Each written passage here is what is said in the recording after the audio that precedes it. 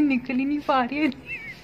फंस गई है हिजाब के अंदर। हुमा तुमने लेनी है प्रिंस की फिंगर्स मैं लोगों को अपने घर का एड्रेस भी दे देती हूँ फ़ोन नंबर भी दे देती हूँ मगर ये रेसिपी मैं किसी को नहीं देती। डॉक्टर ने हुमा से कहा आपसे आपने बाइट करना है आपका एक्सरे हो जाएगा। कितनी ज़ोर की बाइट की उनकी मशीन तोड़ दी है। रमज़ान में अब इनकी प्यास का एहसास हो रहा है? ये देखिए पानी के बगैर इनके साथ क्या हो गया? अपनी प्यास की सबको पड़ी रहती है। हुमा को रोज़े में जितनी प्यास लग रही है, उतनी बोतलें इकट्ठी करी जा रही है। ऐसे जैसे इसकी प्यास बुझ जानी है, बोतलें इकट्ठी करने से। आज मैंने ट्रॉली पकड़ने का नया तरीका ढूंढा, वो ये आगे से पकड़नी है। पीछे से जो है ना, ट्रॉली तंग ही करती रहती है। हुमा की चाल देखो, कितनी तेज़ हुई पड़ी है रमज़ान में। इसको रोज़ा लग रहा है इसलिए तेज़ तेज़ कह रही है शॉपिंग करनी है। प्रिंस की फिंगर्स प्रिंस की फिंगर्स चाहिए ये अच्छी होती हैं? हुमा तुमने लेनी है प्रिंस की फिंगर्स हुमा के दांतों का काम होने वाला है। घगरा उठाते हुए ला रही है। हुमा इतनी काम छोड़े इसके हिस्से का सब कुछ मैं भर रही हूँ यहाँ पर। ये लिखना चाह रही हूँ। हुमा यहाँ से भूसे से बाहर चली गई है क्योंकि इसने हिल वाली जूती पहन के आई है डॉक्टर के पास। अभी हुमा ना बड़े शौक से ये पहन रही थी तो डॉक्टर ने कहा कि आपके लिए नहीं है। उसको डॉक्टर बनने का बहुत शौक है। है आपको पेन तो नहीं कर रही? टू सर्टेन एक्सटेंट है ठीक है जी? अगर आप यहाँ पे फिंगर से क्लीन करें ना आपको यहाँ पे भी क्लीन हो जाएगी। हुमा को ये दे दी एक्सरे करना है उमा ने। उन्होंने कहा आप जो है ना मीठा बड़ा खाती हैं। हुमा बहुत टॉल है। आज उमा ने हील पहन कर आई हुई है। डॉक्टर को चेकअप करवाने। नहीं।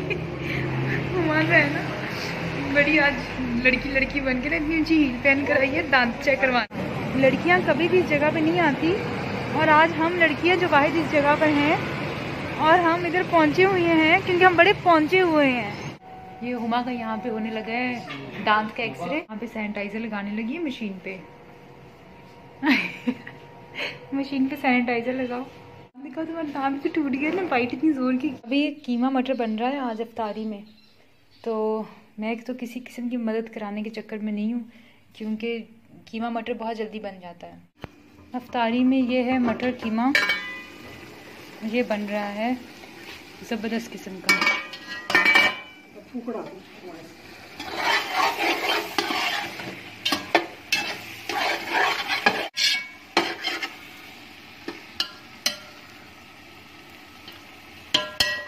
ठीक है ये बन रही है, यहाँ पे चट्टी कबाब कढ़ाई।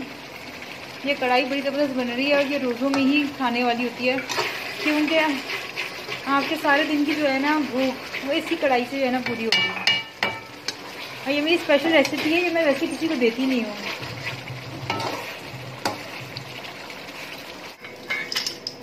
आज बन रही अफ्तारी में कचनार, जो कि फ्रोज़न है और मेरे मेहनत किए हुए हाथों से कटी हुई कचनार है ये।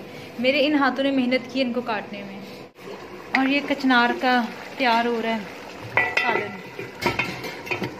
ये कचनार में दही आ गया और ये वो रेसिपी है जो मैंने कहा कि अपना नाम, अपना एड्रेस सब दे दूँ, लेकिन रेसिपी ना दूँ ये वाली। ये हमारी अफ्तारी से पहले ही शुक्र रेडी हो गई है, वरना देर होती तो बहुत ही गुस्सा करता। क्योंकि अक्सर चीज़ें हैं अफ्तारी के टाइम रेडी हो रही होती है। सुबह से लगे होते हैं सब किचन में। फिर भी पता नहीं क्या है। ये देखो, हमारा शेफ जो है ना, पता नहीं क्या क्या ढूंढी जा रहा है मिलना कुछ नहीं है होए होए छले की गए। आखिरकार आँसू थे ना।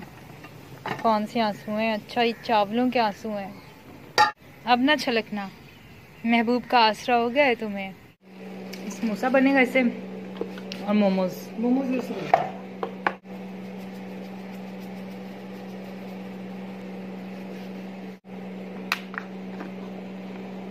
ये तो बहुत छोटा हो गया।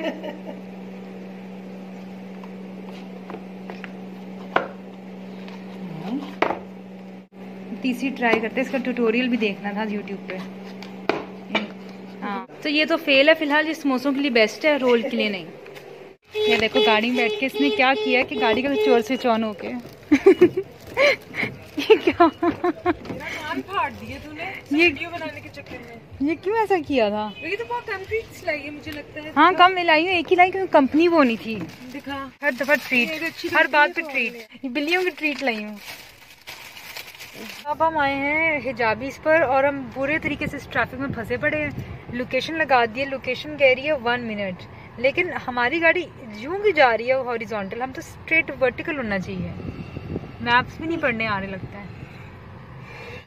स्टार्ट करके देखती हूँ अब कैसे ये क्या है? वेलकम टू गूगल मैप्स यार ये क्या कह रहे हैं? चुप हो जाओ तुम। हाँ अब सही चल रहा है। वो देखो ट्रेन गुजर रही है। वाह हमने क्यों नहीं देखी ट्रेन हम तो आए थे यहाँ पर हिजाबी से वो हिजाब वगैरह लेने। मगर यहाँ पे अब क्या सीन चल रहा है कि यहाँ पे हम रेट देख के चुप हो गए हैं। सौ के केले एक सौ पचास की मौसमी पचास एक सौ पचास की भी केले और सस्ती प्रेम उठा रही ताकि मेरी गाड़ी की पार्किंग हो जाए। उमा ने ये डंडा उठाया है और अब सब सिक्योरिटी वाले जो है ना बाहर आ गए सबको कंसर्न हो गया कि हुमा ने किया क्या है। हुमा बड़ी जंगजू औरत है। हुमा के लिए अब आयाज लेने आए हैं यहाँ से। हुमा ना फंसी हुई इतनी देर से निकल ही नहीं पा रही है। फंसी हुई है हिजाब के अंदर।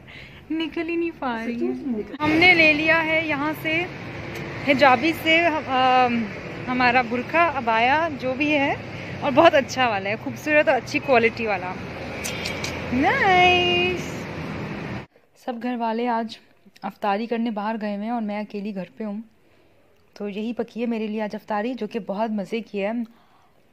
हम्म, मैं ये सब खाई जा रही हूँ। पता नहीं आज मुझे अजीब सी डांट पड़ी है मूड भी सही नहीं आज मेरा। अफ्तारी के टाइम की चाय। और इस चाय का क्या मज़ा है, वो सिर्फ़ और सिर्फ़ चाय के नशे ही जानते हैं। आज घर पे अकेली हूँ, सोच कुछ पता नहीं क्या क्या करूँ, क्या ना करूँ, कुछ समझ नहीं आ रहा। ये मेरी चाय तैयार हो रही है और मैं खुश हो जाऊँगी अब। पहला अशरा है, कुछ लोग गलती से बार बार खाने की तरफ़ हाथ लगाते हैं और खाने लग जाते हैं, पर मुझसे ऐसी गलती कभी नहीं हुई कि मैं रोज़े में कभी गलती से कुछ चीज़ चख लूँ, खा लूँ, मुझसे ऐसा कभी भी नहीं होता। मुझे हमेशा याद होता है मेरा रोज़ा, मुझे नींद में भी याद होता है। मुन्नसा घर के सारे काम करके सो गई अब, थक कर।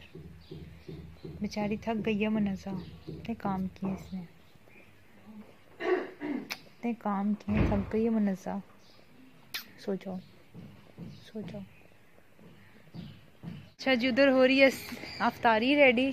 और इधर जो है मेरी मैडम जो है, पिंजरे में इसलिए बंद है, क्योंकि इसने यहाँ पर आई हुई चिड़ियों के ऊपर हमला कर दिया था, वो एक चिड़िया जख्मी हो गई थी।